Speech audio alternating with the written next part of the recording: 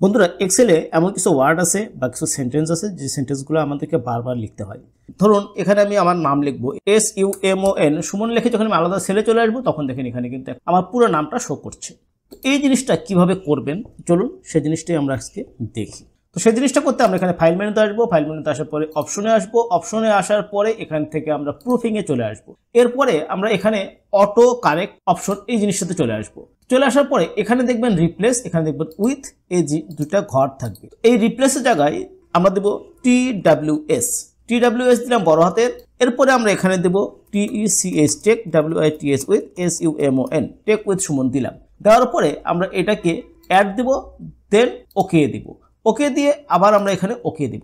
ওকে দিলে এখন যদি আমি এখানে টি ডাব্লিউ এস লিখে যদি চলে আসি, তাহলে এখানে দেখেন টেক উইথ সুমন আমার চ্যানেল চ্যানেলের নামটা কিন্তু এখানে চলে আসলো। তো আবার যদি চান যে, না, এই জিনিসটা আপনারা ডিলিট করবেন, তাহলে সেমভাবেই আপনারা এখানে ফাইলে যাবেন দেন অপশনে আসবেন দেন এই প্রুফিংয়ে আসবেন প্রুফিংয়ে আসার পরে এই যে অটো কারেক্ট এখানে আসবেন, এখানে আসার পরে আপনারা টি ডাব্লিউ এস যে জিনিসটা লিখছিলাম, সেটাকে সার্চ দিবেন সার্চ দেওয়ার পরে এই যে এটাকে সিলেক্ট করে ডিলিট করে দিবেন।